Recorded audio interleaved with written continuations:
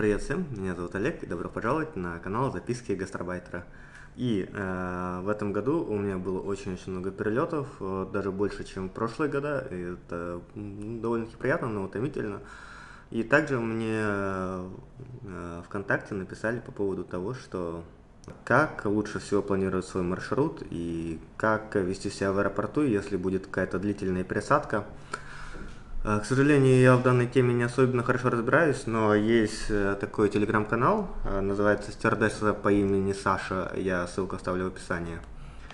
И у нее там это очень-очень подробно и детально расписано. И я думаю, что стоит рассказать про это. Ну, кроме того, вы всегда можете прийти на тот канал и посмотреть, о чем там вообще идет разговор.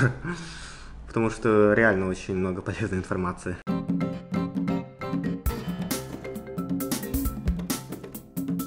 Первая вещь, э, которую рекомендует Саша, это планировать пересадку как минимум в 3-4 часа.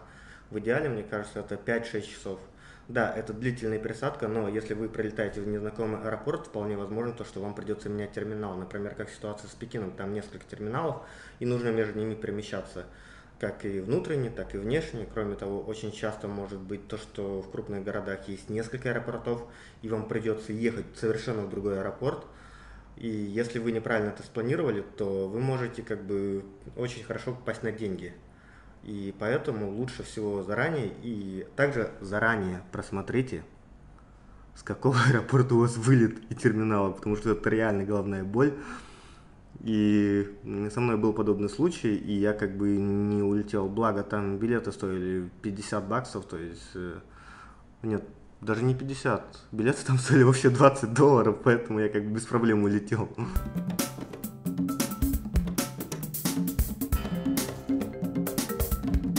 А, путешествие, ноутбук лежит вот Вторая вещь, о котором говорит Саша, это то, что иногда на билетах не написаны номер гейтов, в который вам нужно идти.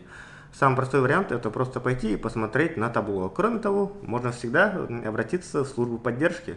То есть там вот есть стенды со знаком вопроса, и туда почти всегда можно подойти и задать конкретный вопрос, откуда вылетает ваш самолет. Третья вещь, это тоже довольно-таки важно, если вы летите из одного часового пояса в другой, то обязательно переводите часы. А, Причем не стоит надеяться на телефон, потому что бывает то, что иногда он сам не переключается на другой часовой пояс. Поэтому в первую очередь смотрите на те часы, которые есть в аэропорту, и также желательно сверить время с э, поддержкой либо с работниками аэропорта, либо с местными жителями. А, потому что, опять же, обидно упустить свой самолет, потому что вы забыли перевести часы.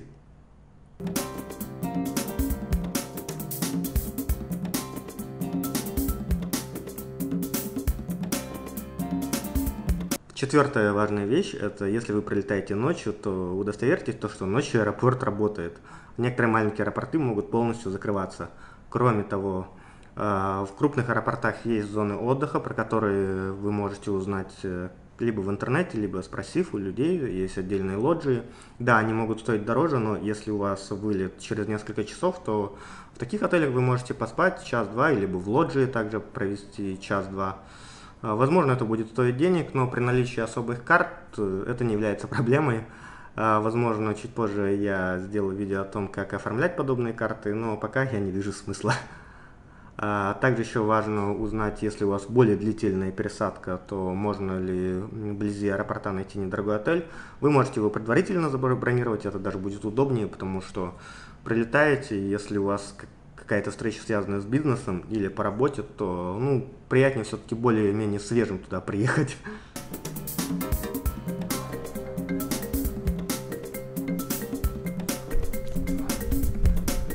Я почему-то думал, то, что в отеле я буду один, но оказывается, здесь нас очень-очень много, и у всех у нас вылет сегодня рано утром. Я, если честно, этого вообще не ожидал. Ну ничего, значит, я нормально доеду до аэропорта и, соответственно, тут же вылечу. Ну, в общем-то, как-то так. Я, кстати, сейчас э, завалюсь спать потихонечку. Что еще? Да, это не платный пост. Мне просто понравился данный канал в Телеграме. Он довольно-таки интересный, и я как бы почерпнул оттуда много полезной информации. Надеюсь, вы также сможете почерпнуть кое-какую полезную информацию, особенно если вы много летаете. А, вполне возможно, если вы много летаете, то, скорее всего, вы знаете часть этих трюков. Кстати, по поводу еды. А, очень часто в аэропортах есть э, столовые, столовки для персонала. А, и мне, например, очень понравилась столовка для персонала в Сингапуре. Она находится в двух шагах от аэропорта, и там очень-очень вкусно, и там в несколько раз дешевле. Так что, если у вас будет транзит через Сингапур, просто выйдете через аэропорт, из аэропорта, пройдите метров 10, и там будет. А, ну, а куда выходить, спросите у работников аэропорта, они подскажут, потому что в большинстве стран работники как бы очень адекватные и готовы вас поддержать и помочь, особенно если они видят, что вы бюджетный турист. В общем, всем спасибо и пока. Да, кстати, не забывайте подписаться на канал. Блин, я хочу спать.